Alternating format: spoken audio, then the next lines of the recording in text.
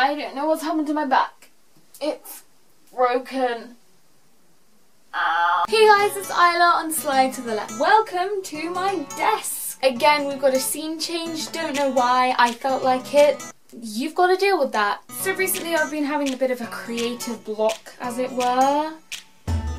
Yeah, that happens. It's actually quite stressful. So as you know, I'm an amazing, inspiring person you should really look up to. So I've decided that I'm going to be starting a thing on this channel where I give you advice. Because I know a lot. I hopefully it'll be like every three or four months I'll make an advice video about whatever I feel like giving advice on. Today I'm just going to start off with some stuff that I do know about.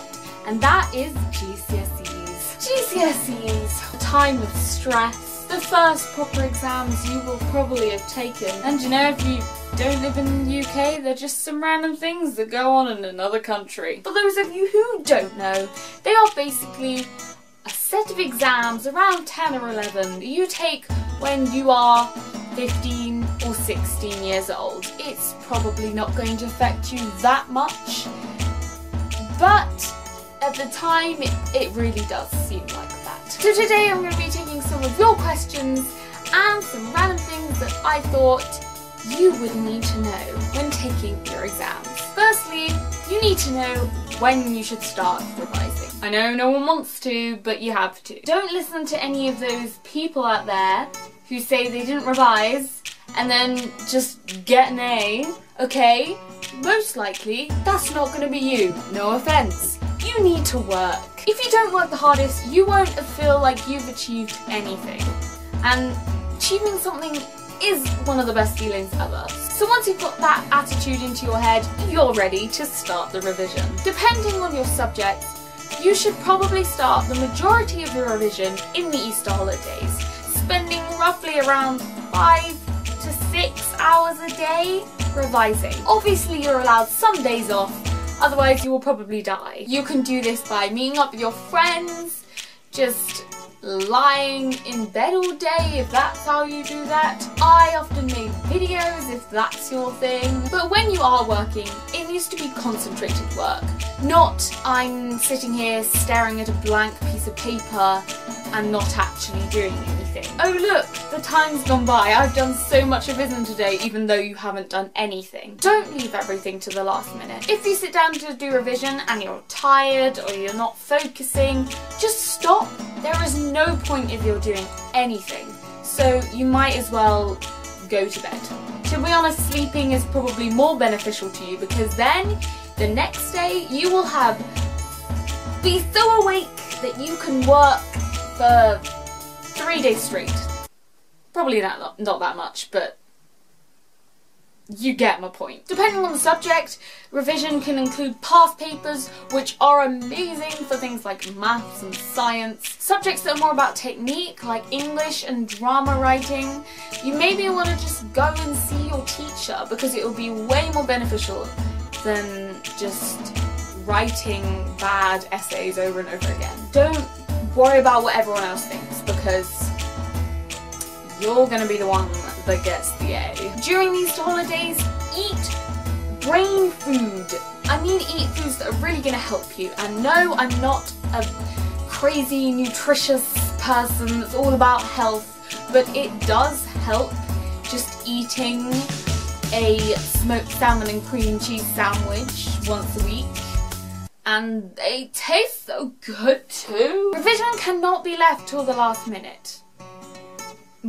You should know that by now. Things that need memorising in the exam should probably start earlier. Hopefully during your lessons your teachers will actually start revision before the Easter holidays because you should probably be starting during the Easter term in the second half and that will really help because you'll it will just be right back in your long-term memory. If you find something hard, don't skip it out and just wait for later, okay?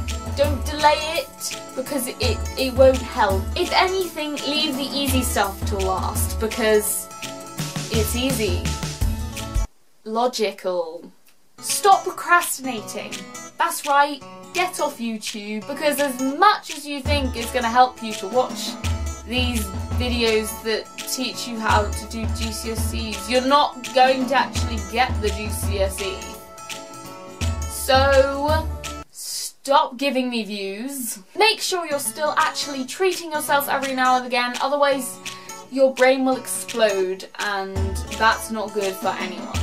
Your friends will be going through exactly the same thing, so they'll all want a break. Just meet up and have a bit of fun, or you know, if you don't want any friends, then just do what I do and make YouTube videos. Personally, I don't feel like I can give you a best way to study because everyone is different.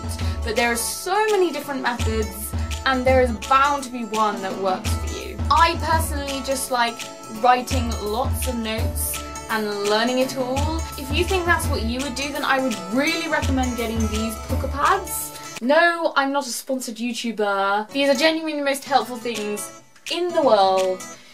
You can just write everything. They got file dividers for different subjects. As you can see, I did a lot of music revision. You can write essays, you can write bullet points, draw all over it if you want to. They are the most helpful things ever. And I got three for the price of two, so I've got one for A-level now too. Other methods can include recording your notes and listening to them. I personally don't find this very helpful, but it may work for you. Getting people to test you is a great way as well for things like science or very knowledge heavy subjects. The most important thing about revision is you need to be confident about it by the end. And if you don't, then that's when you need to worry. When it comes to the actual exam day, make sure you don't freak out so much. If you've done the work, you shouldn't be freaking out, okay? If you get too stressed, then you're more likely to do badly in the exam because you're too flustered and you can't concentrate. So that's never a good thing. Make sure you're not thinking of anything else during the exam because getting distracted is not a good thing. Everyone is supposed to be let out at the same time, but in my physics exam, the invigilator just kind of let people out when they finished which was the most distracting thing ever. Hopefully that won't happen to you, um, but just make sure you're focused because you, you don't you don't want to just stare out the window. It's not going to help you. Even if you don't think you know what to write, frick your brain and just try and find something. When it comes to results day, you will be filled with so many emotions, you just won't be able to control it. It's probably the most stressful slash exciting moment in your life so far. That's probably, there's probably more stressful, okay, scratch that idea. If you don't do too well in your results and you tried your hardest, that is fine. There are so many different options of what you could do and it really doesn't matter. However, if you do do well, that is great, and I'm so happy for you, future self. Or people have already done it, well done. I was personally so happy with my results, and I really felt proud of myself, because it was the first thing that, like, I actually did right. Here you go, here's my results sheet.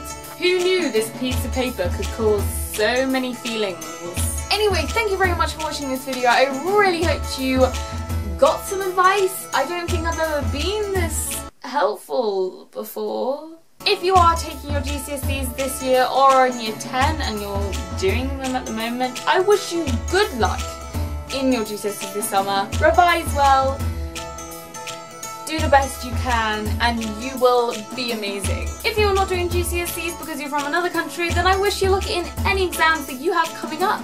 And if you don't ever do exams, then I'm jealous of you. I'd also like to give luck to my fellow A-level students because I want luck too. Let's share the love. My emoji of the week is this because this. And my song of the week is Yellow by Coldplay because I'm going to Glastonbury this year again and I'm so excited for them to be there. Thank you very much for watching. Please subscribe, like and comment suggestions of videos you want me to do or any advice videos you think I should do that I know a lot about. Which is everything. See you soon guys. Bye!